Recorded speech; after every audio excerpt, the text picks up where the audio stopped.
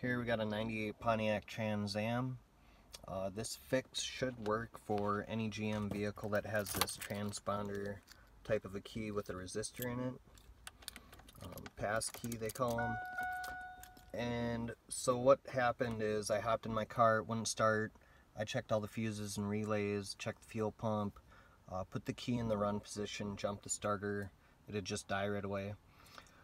Um, everything was pointing towards the ignition, so um, I started checking out with the VATS security system.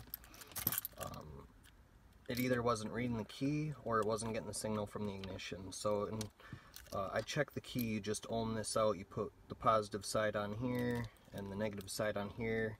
Uh, put your voltmeter to 20k ohms and then you get the reading off your key.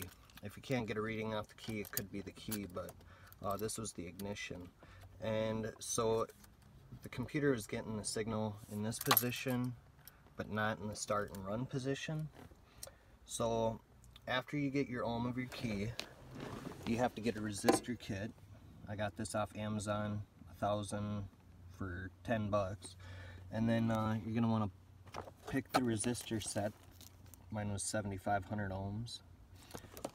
That matches your security system. You're gonna come under here, there's gonna be a wire that you see. It's got the orange cover, two white wires underneath it. Uh, you unplug that, and then on the body side here, uh, this little blue piece that you see is the resistor.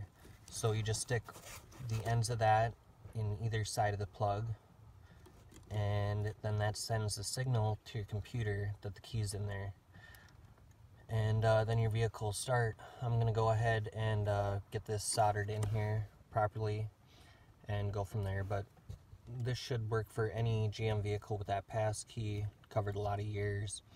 Uh, pretty simple fix just the hardest part was getting the resistor kit online. So other than that yeah you should be good to go. Um, that'll start your vehicle. Um, thanks for watching. If it helped you out like comment and subscribe have a good one